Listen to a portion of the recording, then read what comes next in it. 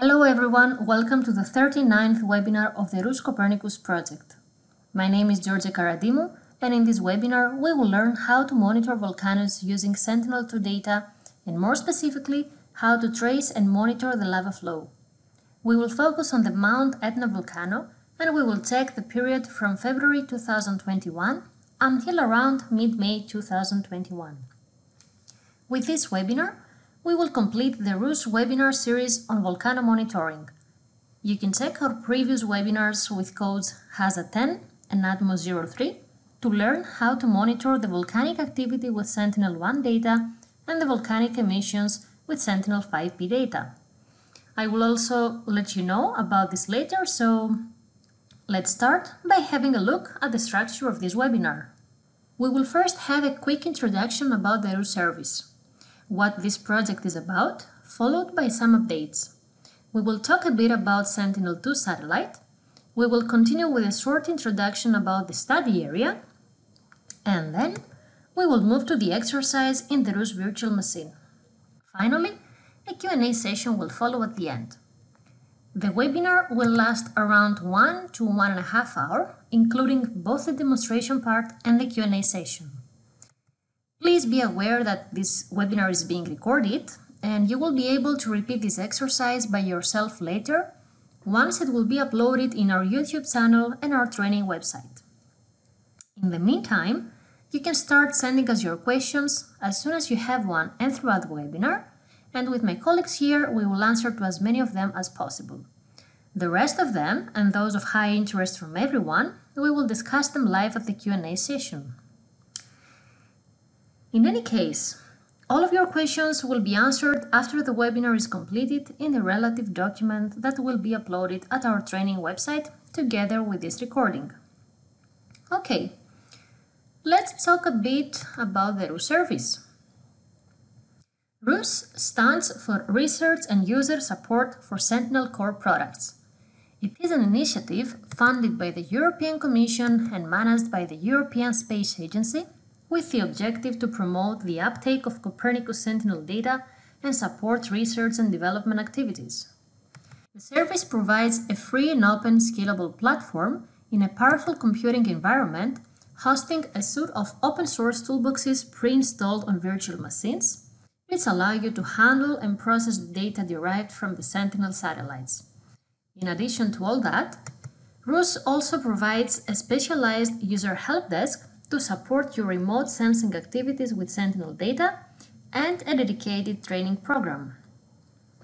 Let's talk now a bit more in detail about the training program and the updates of the project. We are offering our services in two main categories based on whether a RUS virtual machine is available to users or not. The first category includes the RUS training activities and the second includes requests coming from individual users and people working on R&D projects. Regarding the training activities, the RUS VMs will be provided to the users as following. For the face-to-face -face trainings and the virtual classroom events, we can accommodate around 20 participants in each one, providing a virtual machine to each one. The type of the VMs will depend on the training category and the ICT team will support you during and after the session for any technical issues you may face. After the event, in case you need to further use the VM, note that you can extend its duration maximum up to one month. Every month, we will continue offering our monthly webinars and the PDF tutorials. We will continue to have them available to everyone via the RUS portal.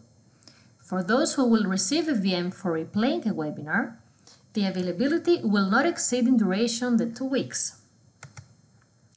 For the external trainings requested, 30 virtual machines maximum will be provided per event, and the participants will benefit from the remote support from our ICT team. Moving to the individual users that want to perform any project, the standard RUS VMs provided until recently will not be available anymore, but instead the solution of the Docker container image will be offered. It will contain the RUS virtual environment and our ICT team will provide the necessary support for accessing the Docker and installing the selected RUS tools on your own infrastructure. You can find more information about the Docker at the link provided here on the right. So now, here you can see our RUS websites. Here you can find all the information about the project in our RUS portal on the left. So I recommend you to check it after the webinar to get familiar with the service, what it offers, and learn more about the updates of the project. You can register by creating an account, and if you are eligible, you can request the VM, a service. On the right part of the slide, you can see and visit our training page. There you can find the announcements for our upcoming webinars and events, the recorded videos with the Q&A documents of the webinars delivered so far, and our e-learning material. Over there, by simply creating an account, you can access this material on various topics and practice at your own pace. Every time you repeat a course, a different set of questions appear, and you have the chance to learn more. At the end, if you successfully complete the quizzes, you will receive a certificate of completion. In case you face any difficulty while signing up, please contact us. As I have mentioned in the beginning, we also have our YouTube channel, the RUS Copernicus Training, where you can find all the videos of our previous webinars and you will also find this one in a few days. Okay, now Let's pass to some information about Sentinel-2 satellite. For this exercise, we will be using optical data provided by Sentinel-2 satellite constellation. Sentinel-2 mission carries a passive sensor, which means it observes an object of the Earth's surface using external energy sources, like the sunlight. It is formed by a constellation of two twin satellites, Sentinel-2A and 2B, and they are passing at a polar orbit, meaning that they complete four circles around the Earth, passing always from the north and south poles. They are also phased at 180 degrees to each other, and the multispectral instrument it carries has 13 spectral bands.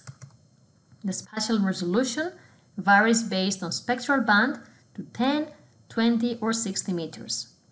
At the equator, it has a revisit time of 5 days. As you can see here, the 13 spectral bands are in frequencies of the visible, near-infrared and short-wave infrared parts of the electromagnetic spectrum. Those that are of pixel size of 10 meters resolution are four, bands 2, 3, 4 and 8. And they are those which we will use also for this exercise, together with the bands 11 and 12 that are of 20 meters resolution and in the short wave infrared. Finally, the product types that are available to users are level 1C and level 2A. We will work with level 2A data in this case. Now we can visit our study area. We will visit the Etna volcano. Mount Etna is one of the three active volcanoes in Italy and one of the most active in the world. It has almost a constant state of activity. It is a stratovolcano located on the east coast of Sicily and more specifically at the province of Catania. Parts of the volcano are shared among different local municipalities and this is actually the largest volcano in Italy covering an area of around 1,190 square kilometers and it also is one of the tallest active volcanoes in Europe. Currently, it is of height 3,326 meters, and as you know, Etna's eruptions are of multiple patterns. They can be either flank or occur at the summit, which has five density craters, and here is where you can see them. There are also plenty of vents that provide relevant material systematically, and this volcano is known for many eruptions. With the volcanic activity to have firstly started taking place at about half a million years ago. There has been an increase in, at the eruptive events recorded the last few years, and the most recent summit eruptions have started in February 2021. The city of Catania has been affected by this recent event, mainly by the volcanic ash that covered most of the area. Mount Etna lies above the convergent plate margin between the African plate and the Eurasian plate. The African continental plate is constantly moving towards Europe and subducts underneath the Eurasian plate. In the image here on the left, we see the thrust tectonics prevailing the Italian peninsula and its surroundings. In the next image, we see a digital elevation model from 2015 of the summit area of Mount Etna with outlines of the areas affected by the at that time recent lava covers. You can see the various numbers slash years around the map and within brackets under the names of the craters you can see their age. I have also written here I have written the age of the five main craters from the oldest to the most recent. The gray-gray areas that we have uh, in the picture are characterized by uncertainties. So, we could be talking for a long time about this volcano, but let's pass now to the RUS virtual machine to start our exercise. So, this is the link for the RUS desktop. We insert here our credentials, username and password, and we log in. Once we are connected, this is our environment. Here you can see that we have some uh, different software already installed. The folders, here we have the terminal in case we need it. And I think we should ideally, before we go to Snap, to show how to process the data, we should open the Firefox so that we download the images we need for this exercise. So, I will show you how to search and download images from the Open Access Hub that we have all the Copernicus data. We go in this website and we just click on Open Hub. Once we are there, we can go up here on the right and we click Login we insert our username and password. In case you don't have an account yet, you just sign up, you create your account, and then you come back and you log in. So I log in with my account, and once this is successful, I navigate over the area of interest. In our case, we said that we need to go to Mountain Etna, which is located here. What we will do is we will create a small area to search, not very large. And once we find some data, I will show you some tips on how to find more efficiently the data you need. So we select here the navigation mode and we draw with our mouse a small area. Now we go up here on the left in these three lines and we insert the period we want to search. In our case, we want to find all the available images from February 2021 until now, May 2021. But just to make it a bit simpler and easier, I will insert as period to search only the month of February, otherwise we will have too many results. So to start with, I click here and I go on 1st of May, sorry, 1st of February 2021 until 28 February 2021. I go further down and I select the mission Sentinel-2 because this is the one we want to use and the product type to be of level 2 and we select this S2 MSI 2A. We just leave it like that and we click search and then I will show you some more details while you search data. These are the results.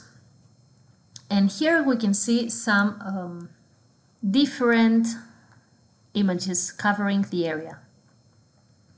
Let me take, for example, this one, which is acquired on the 28th of February. If I click here on View Product Details, as soon as I click, I see that this is selected here in the center.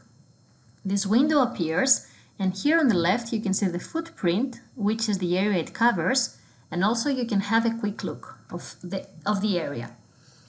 For example, if we want to select an area which has no clouds, either we set this parameter on the search uh, area or we see here the quick look and see if it is covered by clouds or not.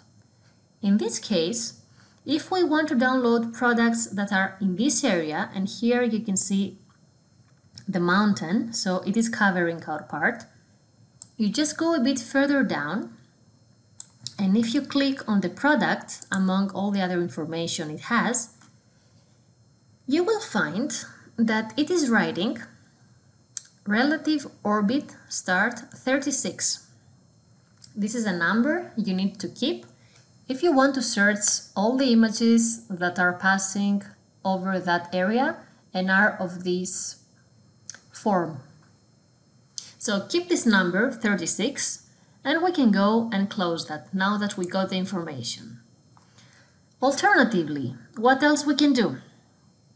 We can go and check, for example, this one of 26 February and we can check the details and we see that this is the other one which is on the western part you see the area it covers again this one has no clouds and if we go down to the product we will find the information which is 79 relative orbit start so we keep these two numbers 36 and 79 what I would like to do is I would like to go back to the search and check the following. Once I'm here, as I said, you can specify here the cloud cover. For example, if you want your image to have from 0 to 2, from 0 to 5, here you see 0 to 9.4% cloud coverage, so that if an area is having more than that in clouds, uh, just when you search, you do not get these results. But in our case, we don't want to do that. First of all, because we want to have everything over the area, even the images with the clouds, so that I will show you later why. And secondly, because imagine if you want to work with this large image and you have on this western part a lot of clouds. If you just set and say, I want my image to be relatively cloud free and have uh, and has to have very little clouds, then this uh, image will probably be eliminated from the results, even though it will be suitable for what you need on this small part up here. So in this case, we don't set anything, no restrictions for cloud coverage. But what we can do is we can go here to the relative orbit number and set as a start 36 and when I click search you will see that the results I will get for February will be only this area. And this is what we need. We can easily download them.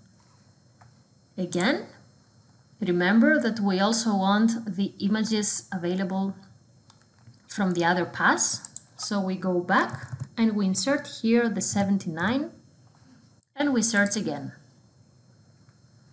And these are the results. So, what we can do? If we want to download all these images, you just click on the download icon here, download product, and once you do, it automatically starts to being downloaded. But what happens with these images that we need, and you see here that it says offline. These belong to the long-term archive, and you need to retrieve them.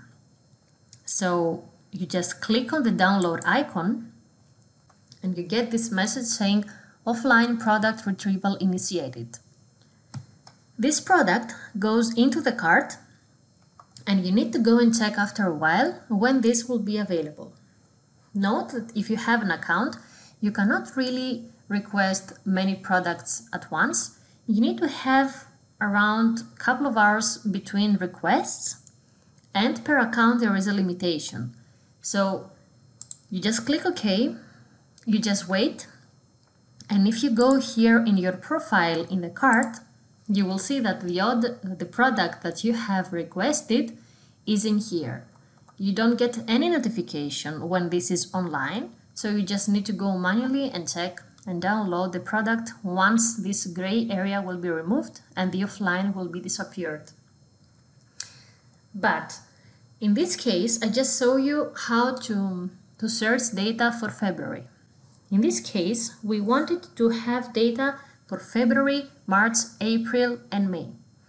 They seem to be quite a lot of uh, products. So what I will do is the following.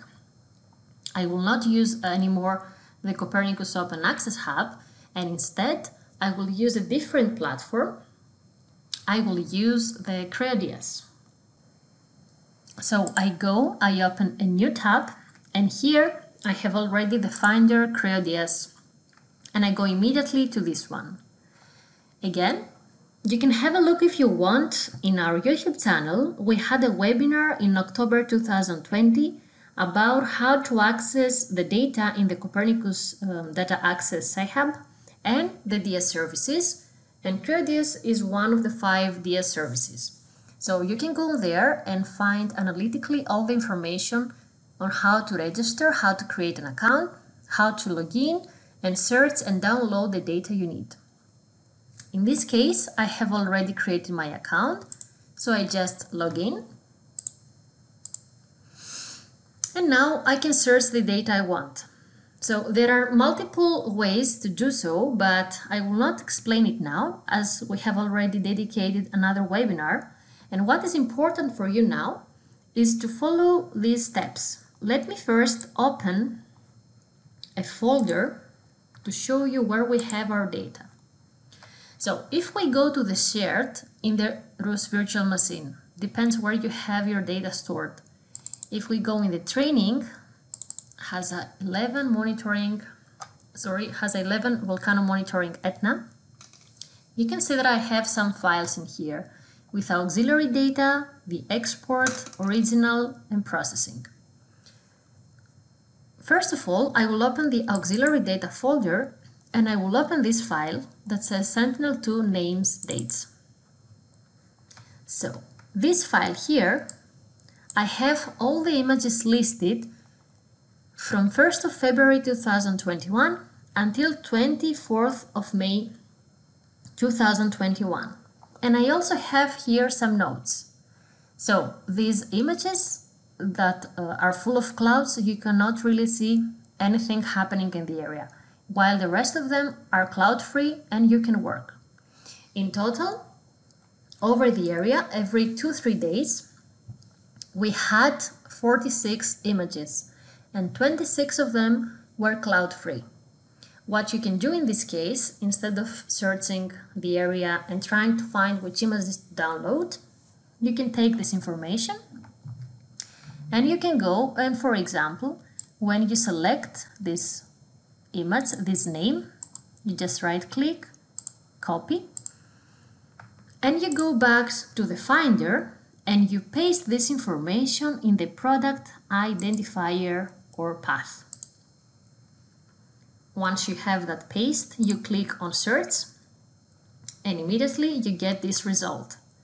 This is the image we want. You can see the percentage of the cloud, 70%. As we said, it's full of clouds. We knew it. I have it already noted. You click on that and here you get some information and some details.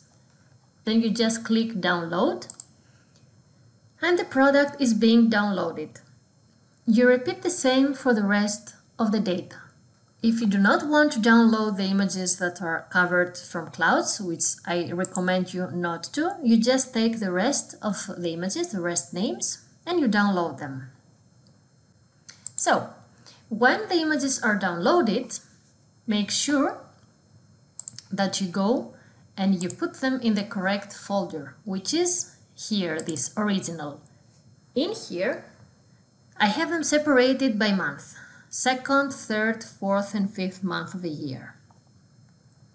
So now that we have everything downloaded, we can close this browser and we can go and open Snap to start showing our processing. We double click Snap is the software that has been developed for processing mainly Sentinel data, but it can also process uh, data from other missions. So when we open it, we get these windows. For those who are not familiar, everything we work on has to be here in the Product Explorer. We load here all the data and step by step I will show you how to really use this interface. So, first thing we have to do is load the data. So if we go to the original folder and we click, for example, on February, we have them here. Ideally, I would suggest you to load them one by one in chronological order. For example, first I take the first one of February, then I take the 3rd of February, and it goes on like that. But I don't want to spend more time now trying to load each one manually. I have already saved a session so that I have them already loaded at the correct sequence. So I go here in the file, session, open session, and I open this.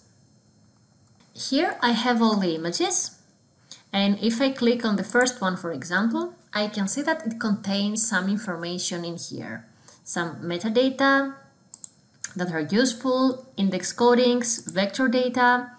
It has all the bands, remember I mentioned that its Sentinel-2 product has 13 spectral bands which are here and here it also has some masks. From all these, we will focus on the bands.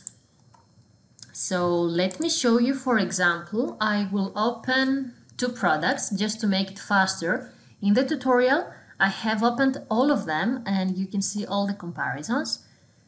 For example, as we said, the activity started in February. I will just open, for example, this image here on February 18.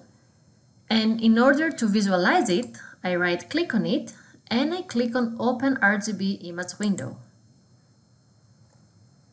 So over here, I have some profiles available and I choose the natural colors one where we have bands 4, 3 and 2. I click OK and this is what we see in this area. So here we have the view window and on the left, we have the navigation area that if I click, for example, this one, it goes to the full zoom in the image. I can zoom in and out. I can go to the color manipulation and check what is happening in each band of the green, of the red, green and blue. And also I have the world map. So if I just zoom in here, I can see the location of these images on the map. Okay, apart from this image that I have opened, I will open also the next one. Right click, open RGB and OK. And this is the result. I have these two images open, for example, and if I go here in window, tile horizontally, for example, I have them in parallel. Now, if I go back to navigation and I have these two options selected, it synchronizes the views and the cursor positions. You can see here on the left which is the area it covers. So I just click here, zoom all, and I have both of them in parallel. What did we say? We said that the area of interest we want is up here, is a small area.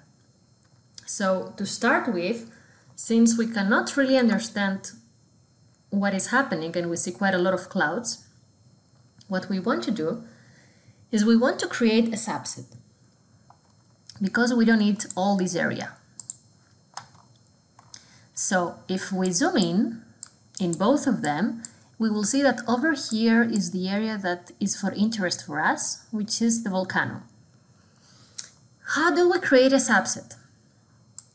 There are two ways.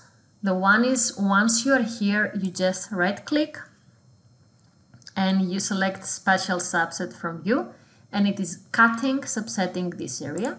And the other one is you can go and take up here a, a drawing tool. You can draw over here the area that you want. you take here the selection tool, you select the polygon, you right click and you select well-known text from geometry. And here you have this polygon with this information. You take that, you copy it, you click OK, and you go, for example, here I have it already for you in the auxiliary data, and you paste it somewhere. And here it is. Now we want to perform this step to subset all these images for over the same area at once, and we have quite a lot of images. How do we do that?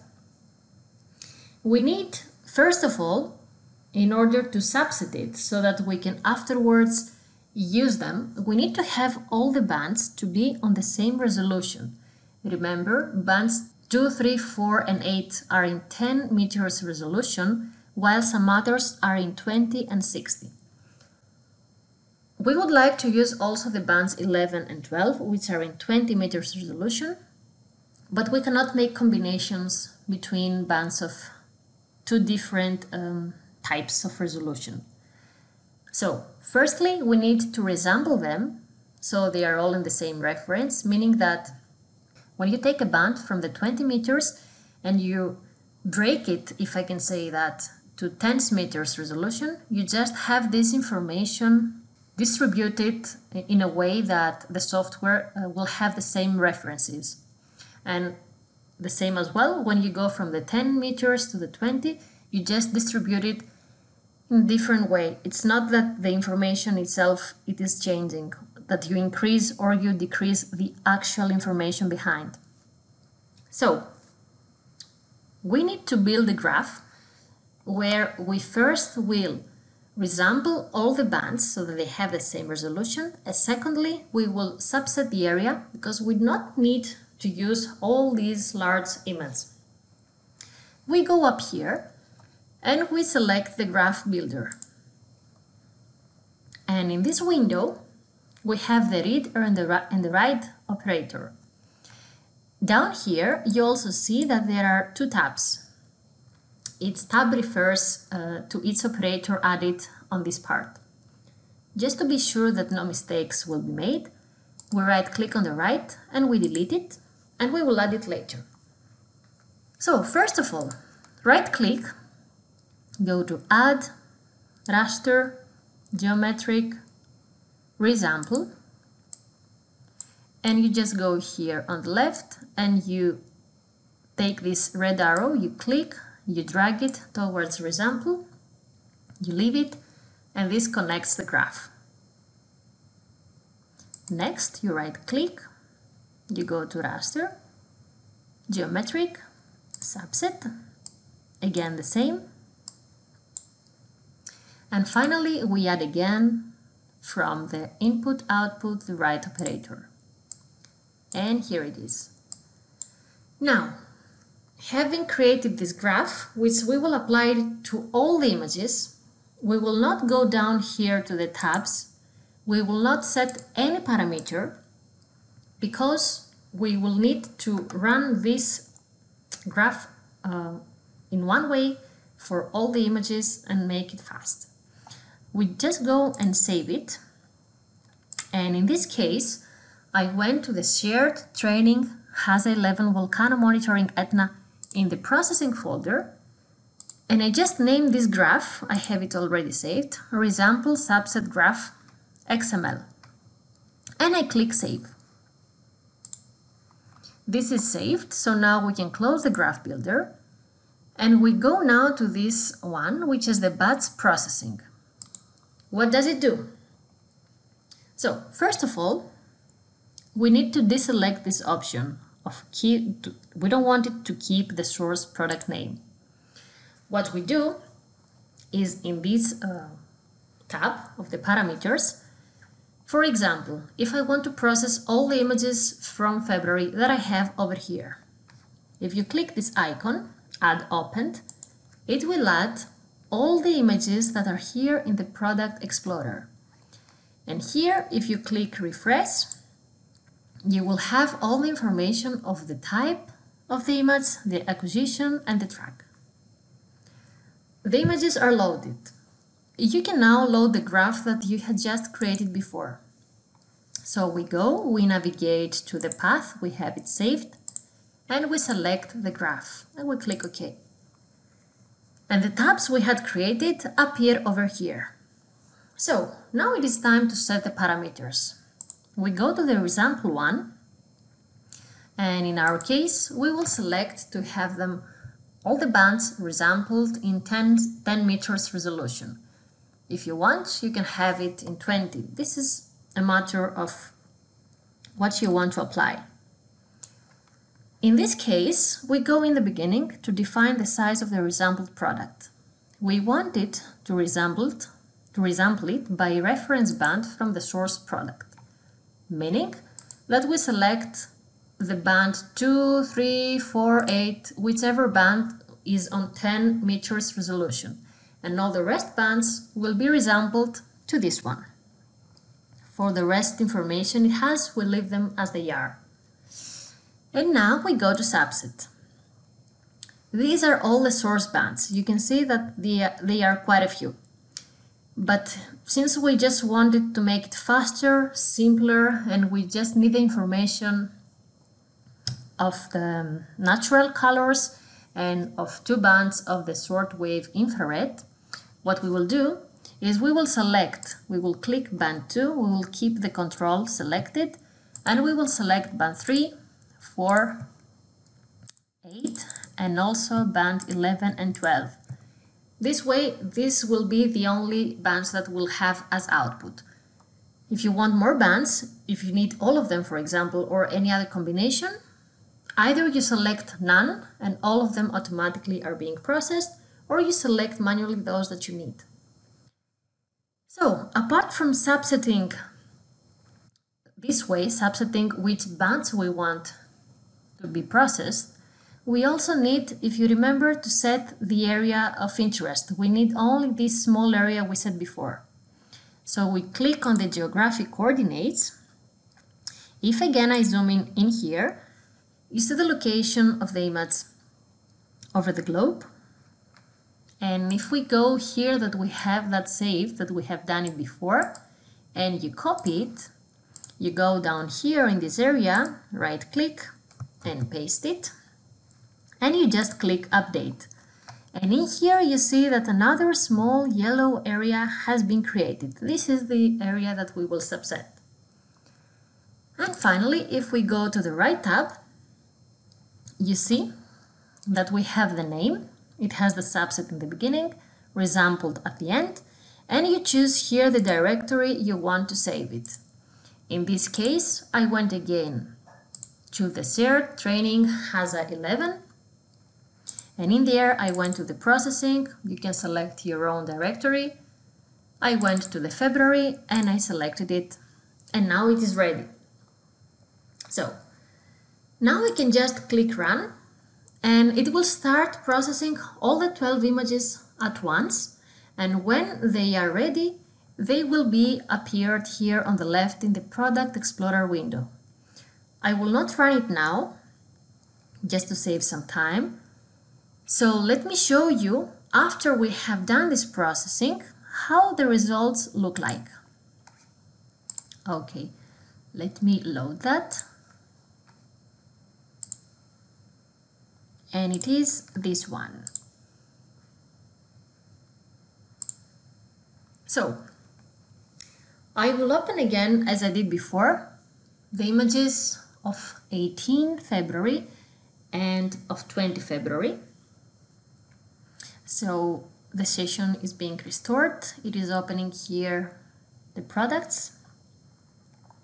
So I right click on this product so before I right click on that, if I open this product, I see that it contains this information. It's a bit less information than we had before. And if I open the bands now, it has only these six bands that I have selected in the processing before. Now I can right click on that and open an RGB image window. And this is it. You see that it is way smaller and it is centered and focused over the volcano. Let me also open the other one of the 21st. And let me put them in parallel. Okay, what do we see here? We see something that we don't really understand very well. We see some clouds, obviously, in the area. And we see here, if I can say on this right image, we see some smoke, if this can be smoke from the volcano. And we also see this white area, which we're not sure exactly what this is. Can it be volcanic ash? Can it be snow maybe? Why did we do the resampling before? Because as we said, we want to use the bands 11 and 12 that are in shortwave infrared. And why is this useful? It is very useful because band 11 is meant to be available for defining different soil types. And also with bands 11 and 12, we can sense and detect the lava which is warmer than the area and also we can separate which area is snow, which area is ice. So these are the natural colors which for example if I go here on the color manipulation and I enhance all this information if I move this one towards here so I just have a more clear image, if I can say that. Not so dark. This is what we see in natural colors. So we have obviously the clouds. We have this white area, which we don't know what it is. But we do not see any lava flowing. Why? Because the color of the lava is dark as well. And it is here, we just do not really understand it. So what I will do, I will close, for example, yeah, this one. I will enhance the 18 as I did before. I will enhance a bit all the bands. And now that I have this information, I will go and I will take this image and I will create another RGB right click, open RGB image window. And instead of using these bands 4, 3 and 2, I will select another combination. I will select the false color urban, which is using the bands 12, 11 and 4 in this sequence, in these channels.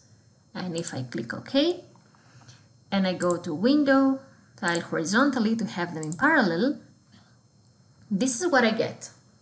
So what do we see here? It's exactly the same image, it's just giving us totally different information. And in this case, we can see that all these red parts that you see is the lava that is flowing that is really hot, which we could not see it exists here. It is not just of this color. So we ask it in the red band to have the in the red channel, sorry, to have the band 12 so that we can see this area. You can also see that there is some activity going on in the other craters of the area. You see these colors. And we can now see that all this blue area that we have here is actually the snow of the area. So, what we want to do is to take for all the images we have, now I have processed the February. I have also processed I have also processed March, April and May. And what we need to do is when we are at this stage, we right click and we open the false color image of bands 12, 11 and 4 and we can very easily trace and monitor the lava. Up to this part, I can say that we have completed most of the processing and what we want to do is to take this information, export it, and put it in a GIS environment or put it in Google Earth. When you have this information and you want to export it in a QGIS, sorry, in a GIS, in this case QGIS, you just select the product and you go to File, Export, GeoTIFF. You select where you want to save it. In our case, we want to save it in HAZA 11, processing, sorry, HAZA 11, export, geotiff for QGIS. More specifically, I have a folder for February. So, what do you export? You can go to subset. You can subset the area even more if you want. You can subset it by bands, for example. You can subset uh, to have this view only the bands 12, 11 and 4. So you keep selected only these three bands that you want. And in the metadata, you just select none. When you have that and you click OK, you have a file name, you have the geotiff, and you click Export Product. If you want to export this one that we have in the right with natural colors, when you go in the subset, in the band subset, you select only the bands 4, 3 and 2. And this way you have the result. Okay, and then you export them. But what if you want to export that and use it in Google Earth? If you go, for example, in File, Export, Other, View as Google Earth KMZ, you get this message saying that product must be in geographic lat long projection. So what we need to do is we need to reproject it. We click OK, no problem. And we go again and we build a graph. I delete again the write operator where we right click, we'll go to add, raster, geometric, reproject. And we connect it to the read. And then we add the output. Again, we save this graph in the processing folder and I have it named reprojection graph. And you click save the graph is created. So again, once more, you go to the batch processing, you deselect the keep source product name, you load all the images that you want to reproject, which in this case happens to be in the Product Explorer window, and you load the graph, which is this one. These are the tabs, and in the reproject, you make sure that here in the projection you have the geographic lat long WGS84, which is the one that Google Earth can understand. Just remember to deselect this part that says reproject type point grids. Again, you go in the write one and you select where you want them to be exported. In this case, again, I have them in the HAZA 11 processing 02 and you select it and you run it and it is applying for all of them this reprojection and it's loading the information on the Product Explorer window. Just let me load them so that we don't lose time again. And it is this one. There is no difference basically in, in the final result. It's the same information, it's just in a different coordinate system so that you can use it for the different uh, software purpose that you need. And as you can see, now that we have them here, if I open again, for example, this one, and I open a natural color image, it is exactly the same information, if I open again a false color image with bands 12, 11 and 4 and put them together, we can see that it is the same information.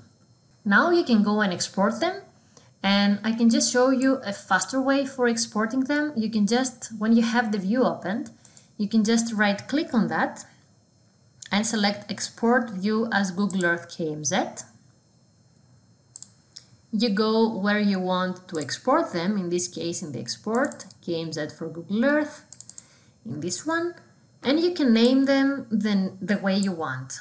in this case, for example, I have this one named 2021 0218 and I have here the combination of the bands that I want to export.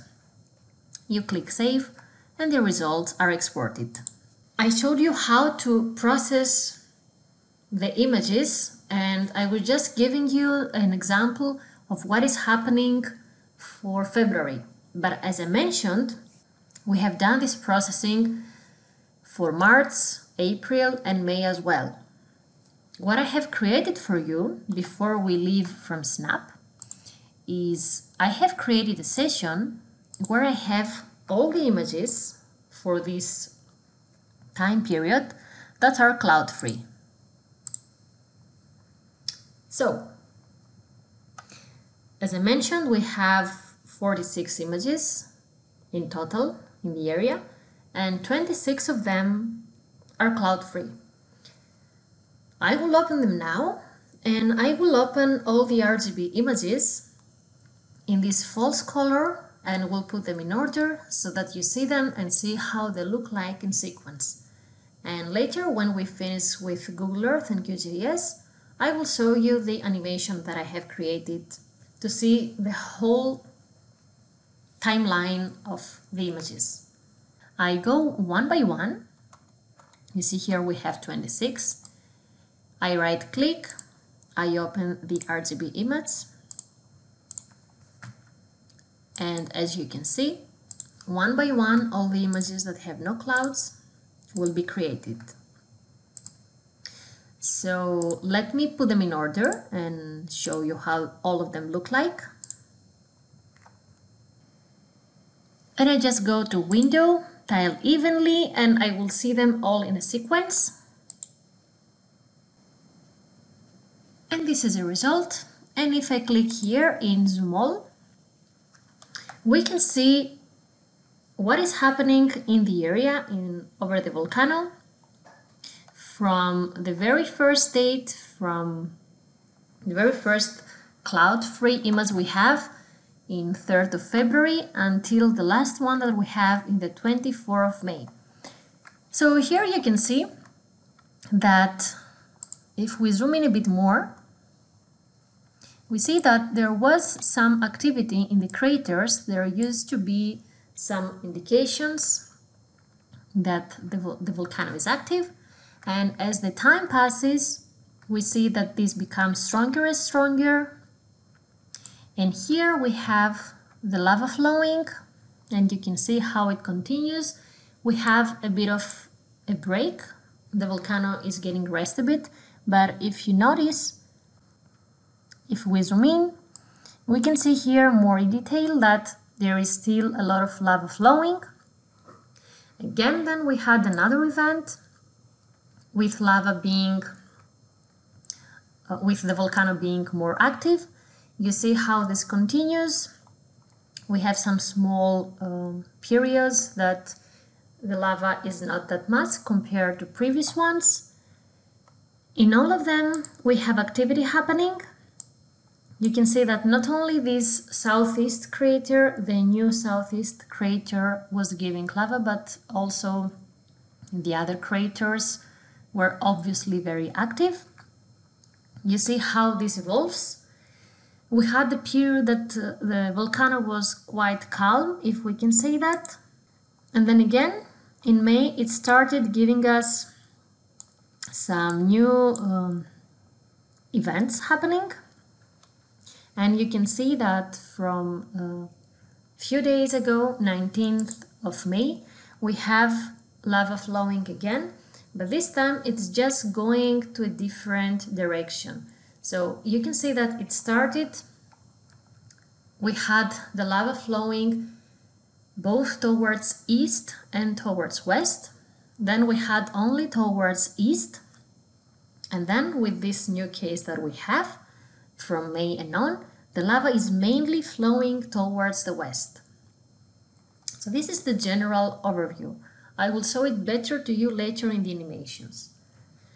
Let me now close Snap, that you have seen what is happening over the whole area. And more in detail, I will open QGIS and show you what we have just exported in this one. So here I have already created the session to make it a bit faster. Just to let you know, in case you want to load in QGIS your data, there are several ways. One easy way is you go to the folder that you have exported your GeoTIFF files and when you are there you just click on it and you drag it and you drop it here on the left on the layers panel. So now I have them already loaded and I have opened for you the image from February 3rd. Let me just go here to the Open Layers plugin and add a background. I will just put it lower at the end of all these images so that we have it like that. And I will, for example, here zoom in over this area that we have that we mainly want to focus, sorry, like that. And let me now, I will go image by image of the cloud-free ones. This white you see just snow. And we will see how the area looks like. So, this is on February 6, 11, 16, 18 that we have the lava flowing, 21, 23, 26, 28. Now we go to March 3rd. We see that it starts cooling down a bit. We continue March 8. We have some clouds, but you can still see, if you check more carefully, we can still see under these um, thin clouds the lava that is flowing and also the spots of the other craters. So if we continue, we go on March 25th after the 8th because the rest of March is full of clouds. Again, we see the lava flowing. You can see in these lower parts on the eastern side, we see some lava, but it's not that hot compared to this one closer to the crater.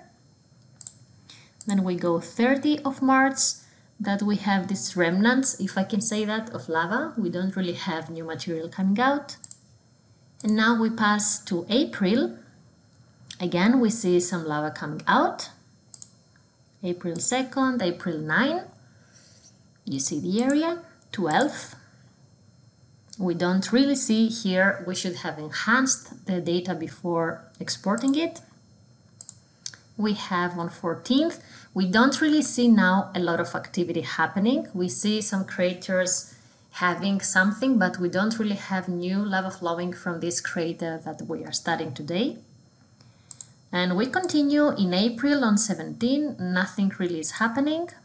We have then 10 days full of clouds and we go to the 27th of April that again we start seeing that there is some more uh, higher activity, if I can say that, in the area.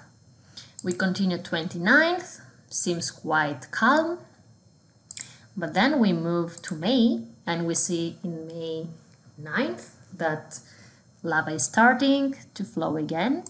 We continue on the 12th, on the 17th, and then when we go to 19th of May, you see this lava that uh, has already been in this western side and we keep going up to the 22nd which here you can see some colors in the area which is just warmer area. We cannot sure uh, we cannot be sure and understand really that this is new lava. It's just warm. And finally the last image that we have of the 24th of May. Apart from that, okay, we have this information, but apart from that, what else can we get? If we go, let me keep open, for example, the image of 18 of February, which we had this quite strong, if I can say that, quite a lot of lava. if I go here, I have already for you in the auxiliary data, I have contour lines. I have the contours of every 20 and 100 meters. So if you go here, you can see this detail and see this uh, information. With red color are the contours of 100 meter. And if you zoom in and out in the most appropriate way, you will see that in general, in the area, you have a lot of contour lines that are closed because this means that are mainly areas that we have some other small vents, craters, that uh, fissures, lava is flowing, and you can get a lot of information about the topography of the area. If you click in each one of them, you can have also here, if you take this tool, identify features, you can have also the information, if we zoom in a bit more, of what is its contour about. So here you can see the details of the contours. Apart from that, if uh, I remove them so that we have a relatively light and empty map, if I remove them, I have created for you a shape file named LavaFlow. So if I load it, you can see that here we have for all these 26 images, we have the shape file of each one and it is showing the area that has been covered by lava that has been detected from Sentinel-2 satellite. If I right click on that and I go to properties, over here, if I select instead of single symbol, if I select categorized, we select here in the column the ID. We want to classify them by ID, which means by different date. And we have here random colors and we classify it. We get for its value that is on the lesson. So for each different date, we have a different color. If we click OK, we can see them here and we can get information and monitor and see each date, uh, which was uh, the lava, which was the extent of the lava, and we have already calculated that. We right click on that, we open the attribute table and we see here the ID number and we see the area in square meters that correspond of the lava detected that day by the satellite. For example, as I have here opened the 18th of February, which was the day that we had quite a lot of lava compared to other days, this is in square uh, meters. So if we make this in square kilometers, it is around 1.86 square kilometers, that total area that had been covered by lava. And this is uh, some information you can get when you have a, a geographical, a, a GIS environment. You can also add more information. You can add data, uh, seismic data, any other data that is of interest for you and you can process these uh, results. Let me now just um, close QGIS so that I show you very quickly uh, the same results we have exported in Google Earth. So here we have Google Earth and we open it Okay.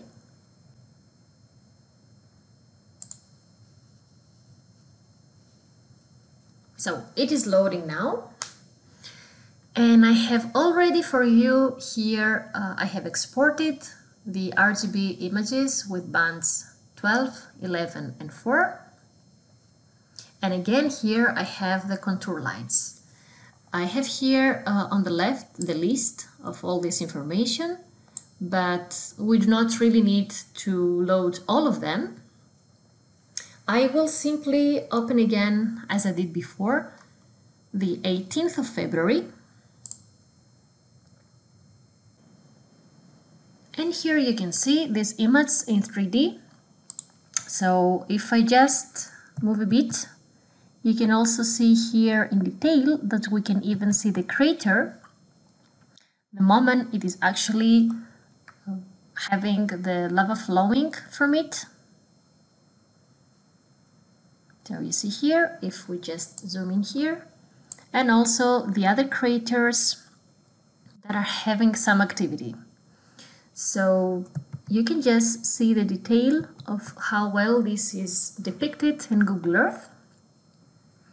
And on the top of that, I can also add, as I did before, I can add the contours of 20 meters as a start so that you see how they look like and also of the 100 meters.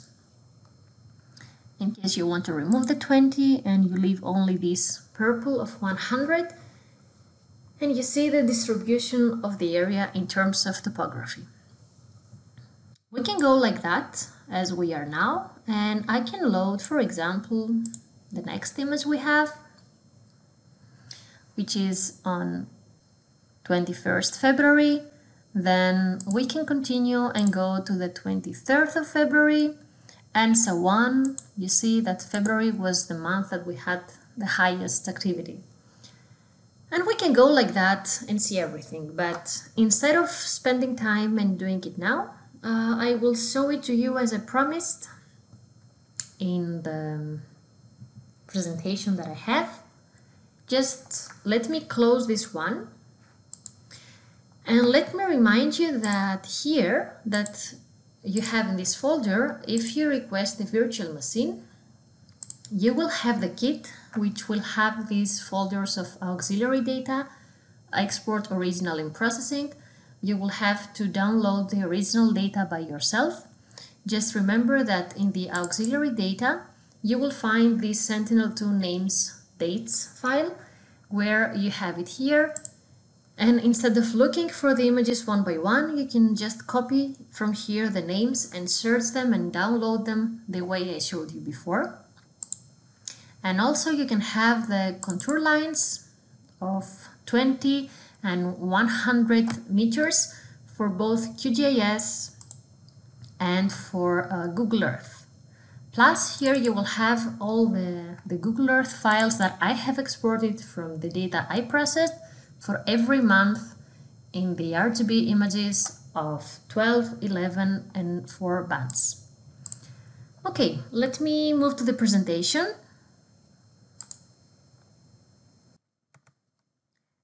We have already seen in QGIS and Google Earth the results, but let's see them now all together in these animations I have created for you. So in this first one, as you can see, we have all 46 images available over the Mount Etna that have been used for this exercise. We see how the volcano looks like from space with Sentinel-2 data from February until May 2021. You can also see these long periods that uh, the area was full of clouds, mainly in April and May, also some days in March, and we could not really see the lava flowing underneath them. So in the next one, I had I kept only 26 images that were relatively cloud-free and we can see the areas that have been covered by the lava that is constantly flowing with only a few small breaks during this period. So, I think that now that we have seen uh, everything, we have a good overview of how to monitor the lava flowing. And if you have any questions that have arisen, please save them for a while for the Q&A session. Let me tell you again that you can repeat this exercise by your own if you want to practice or adapt the methodology to your own application. And in order to repeat the exercise, go to the RUS portal, register and apply for a virtual machine. During that process, you just need to specify the training code HAZA11 once needed. You will receive the training kit that contains the PDF of the step-by-step -step guide and the auxiliary data.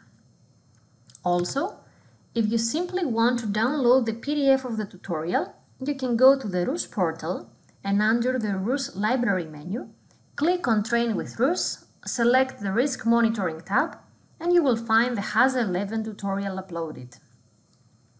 This was all from my side. Here you can see um, where you can reach us. If you have any questions, thank you very much for joining and I will now give you a couple of minutes to post your questions and I will be back to you for the Q&A session. Uh, I would like to thank you very much for attending and have a nice day.